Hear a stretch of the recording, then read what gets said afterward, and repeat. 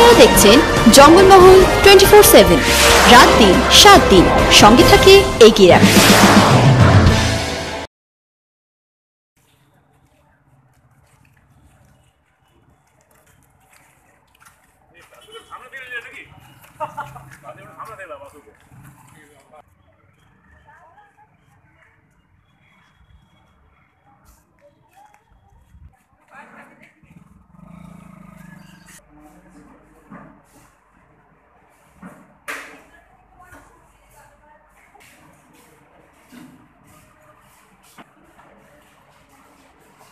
চলে গেছে।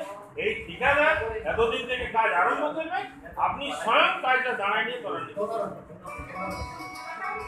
তখন আপনি আজকে ঝালদা এক নম্বর পঞ্চায়েত সমিতি ছিল সাধারণ সভা।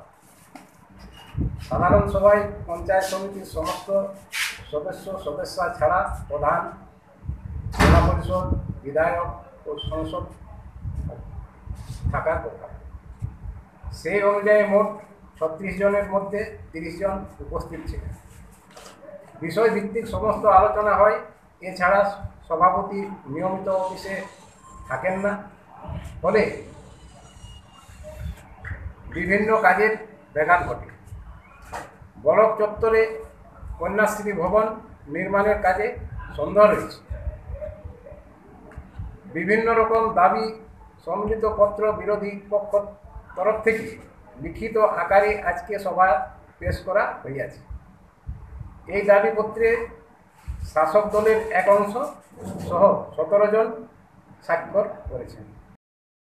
দেখুন, গত বিগত যে পঞ্চায়েত সমিতির বোর্ড গঠন হয়, সেই সময় আমাদের দুজন পঞ্চায়েত সমিতির সদস্য, ভুল বুঝাবুঝির কারণেই হোক আর যে কোনো কারণেই হোক, আমাদের ভারতের কমিউনিস্ট পার্টি মার্ক্সবাদী যে পার্টি লাইন, সেই পার্টি লাইনের বাইরে ছিল।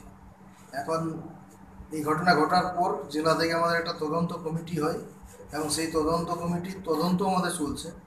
আর কিছুদিনের মধ্যে আমাদের সেটা রিপোর্ট পেশ হবে।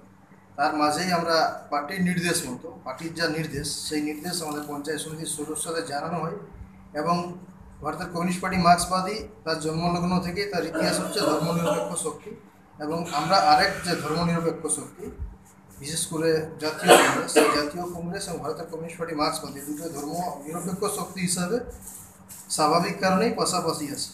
এবং আমরা যে বর্তমান পরিস্থিতিতে যেভাবে বিজেপি মেরুকরণের চেষ্টা করছে, জাতপাতের রাজনীতি করছে, তার থেকে আমরা সমদূরত্ব বজায় রাখার কারণেই এই সিদ্ধান্ত আমাদের। এবং যা হয়েছে সেটা পার্টির যেটা দলীয় নির্দেশ এবং উচ্চতম নেতৃত্বের নির্দেশ, তাদের মতামত অনুসারেই হয়েছে।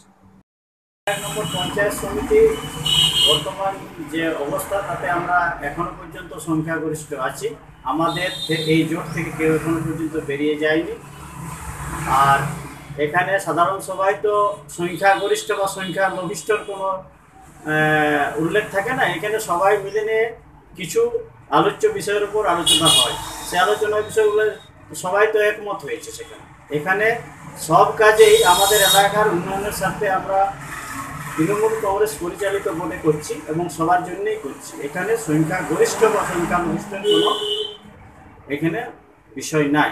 আরেকটা জিনিস এখানে পরিষ্কার বলে রাখি যে ঝালদা এক নম্বর পঞ্চায়েত সমিতি ভালোভাবেই চলছে এবং আগামী দিনেও চলবে।